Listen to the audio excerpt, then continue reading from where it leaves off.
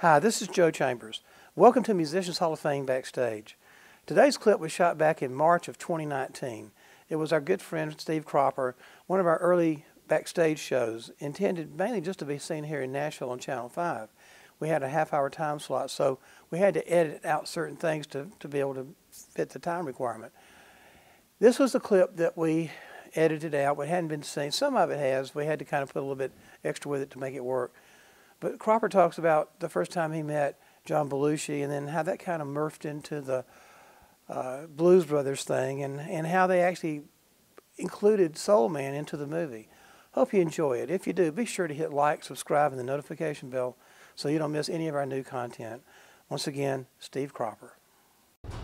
This buddy of mine, two guitar players, not bad. And we used to learn a lot of the current songs and all mm -hmm. that mm-hmm. sort of stuff. So a friend heard us and said, I have a DJ friend. I want, you, I want him to hear you guys. I'm going to take you down one night when he says it's okay. So he called us that afternoon and said, We're going down there tonight to this radio station. And uh, the guy's name was Keith Sheriff. He worked at the old, they had a, uh, a radio station in the old Russwood Park baseball stadium. And we went up there, and he said, they had a little bitty studio out. He said, just go out there and plug up and start playing. I can hear you in here. And he said, I'll just turn the mic on and listen to you guys. Mm -hmm. What he did was, he put us on the air. He liked us. He said, can you do that song again? He just hit a switch, put us on the air, and the phones lit up, you know. He said, is this all you guys got? And so we went around trying to find a drummer. He said, if you had a bass player or a drummer, I'd put you on one of my sock hops. And he did these Friday night sock hops. And uh, so we went all over the school. And finally we, we did, we found a drummer, got on a sock hop, and then I don't know how we did it. The thing is that we listened to the radio constantly. So when I look back on it, we listened more to commercial music because most of the stuff we listened to was already on the charts and already hits.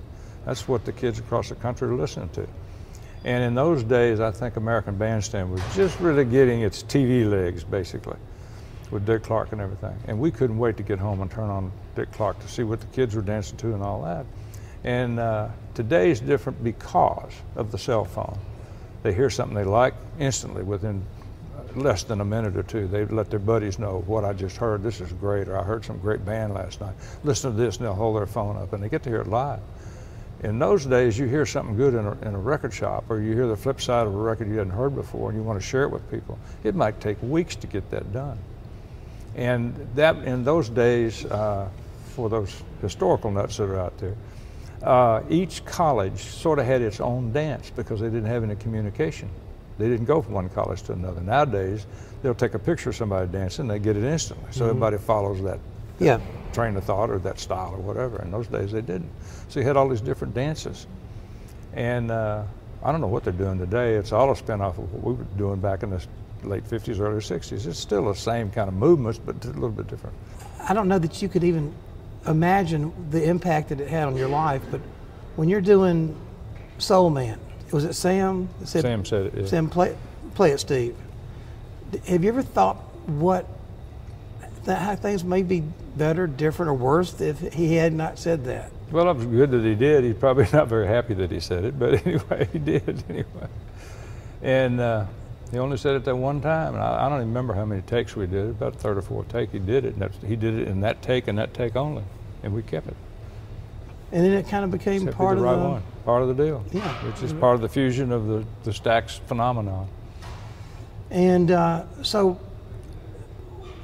phenomenal, great, iconic record, iconic guitar riffs that you came up with there. Um, then, you know, you think that the songs had a longevity that's unbelievable, and then all of a sudden you got the Blues Brothers. I mean, in brief, how did that come about, and how did you? How did they let well, you know? Well, you know, there again, just being in the right place at the right time, being lucky. Yep. I got a phone call from John Belushi, and he was in New York. You didn't know him at all. No, I had met him. He didn't know me, but I had met him. I met him at a Paul McCartney party, and he was. Uh, Paul hired him to do that imitation of Joe Cocker that he was real good at. Mm -hmm. And he had done it that night, and he was outside smoking a cigarette, and I walked up, introduced myself, and he didn't know me from Adam.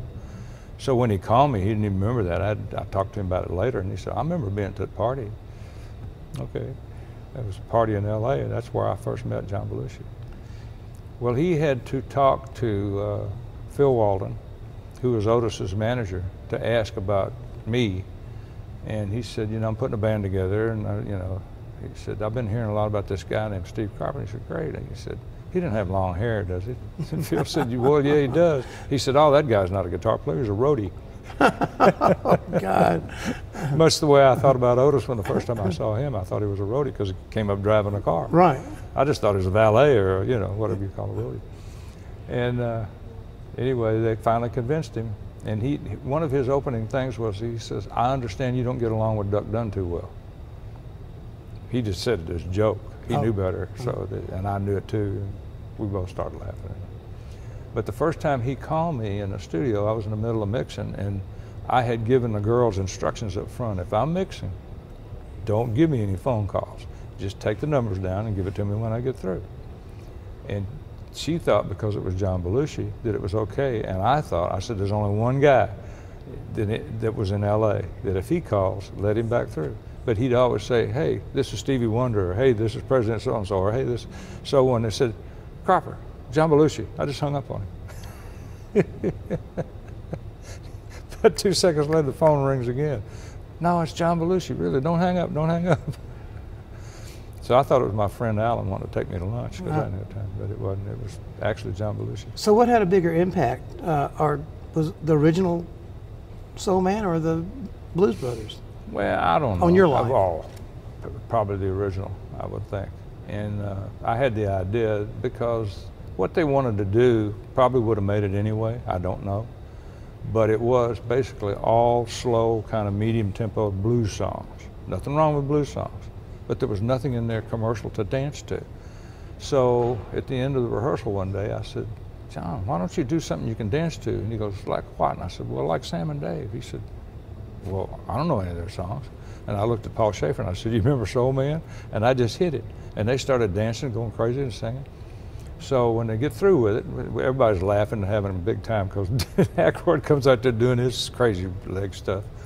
And uh, he turns around to me, John does, he said, Steve, I love that song, but it's too high for me. I can't sing it. I just dropped it down. And I've been, we've been playing it there ever since. I thought everybody knew Soul Man. Well, everybody might, but they don't know it in the key we do it.